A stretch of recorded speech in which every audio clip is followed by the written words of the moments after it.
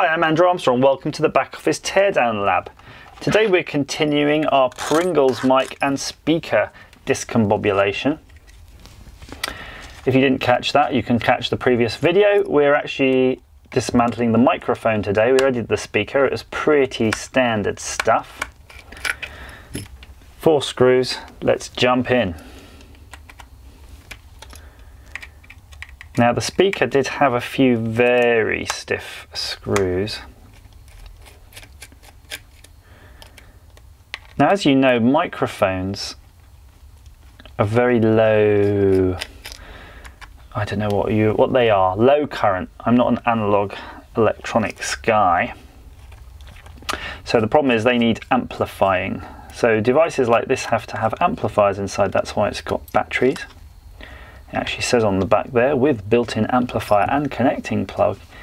How useful to have a connecting plug. It'd be quite awkward to try to hook this up without one. I'm going to have a look underneath the battery door because there may well be... Oh no, we don't need to. It did just pop straight off nicely. Look at this, isn't this fantastic? It's so simple. So wonderfully simple. So there's your microphone sitting right there. And we did some tests with this. It's not that bad. In fact, I could be recording this with this mic right now if I was that way inclined, but let's not disturb that. I'm going to try to just lift it out. Let's see what we can do. You can see there's the hole in there, and there's the microphone. going to be in there among this big wad of foam. Hear it cricking and cracking, so I think it's glued in a little bit. Oh, there we go. Bit of force, bit of brute force and ignorance. So it's sitting on a kind of foam base that's insulating it that way. It's your traditional, I guess these are condenser microphones. Um, I'd have to double check that, but yeah, they've got a polarity. In other words, there's a bias that goes up these wires. In fact, we could probably put in the bolt there. When I learn to speak English, I can try putting a voltmeter on that later. Let's see under here. You can see there's an electrolytic cap, but underneath there is a chip. There is an IC. Can we read it?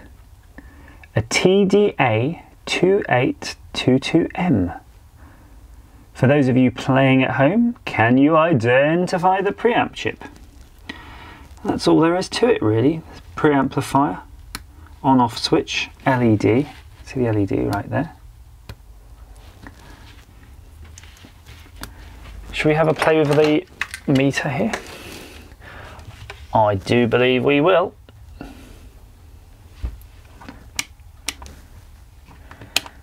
If we're lucky, we should be able to pick up the bias voltage here. So with the power off, nothing.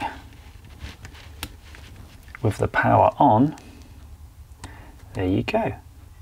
1.75 volts. And that's all there is to it.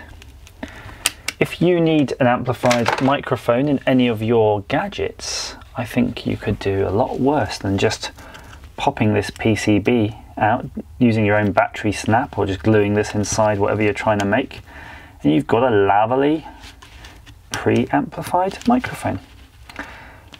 Please feel free to leave comments down below and click subscribe and let me know if you've had your bits of fun with a Pringles tin. Oh, hang on.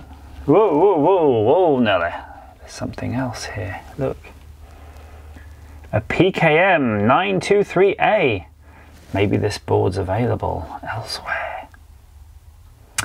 Let me resume where I was, as ever. Thank you for watching.